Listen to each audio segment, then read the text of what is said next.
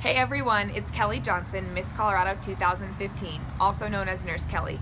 This year, our organization has partnered with Uniform Advantage to bring you this awesome Nurses Unite t shirt. Last year, you all banded together with me as we united throughout the Nurses Unite campaign.